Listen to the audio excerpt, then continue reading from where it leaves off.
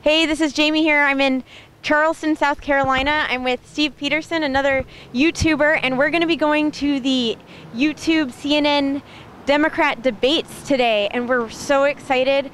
Um, we're standing here on the site where South Carolina first signed the papers to secede from the Union, which basically started off the whole Civil War. And Jamie, this is where the um, revolutions start. We had the Civil War start here, and here we have a YouTube debate where the average voter can run a debate. So we're really excited to be here. History happens here in Charleston.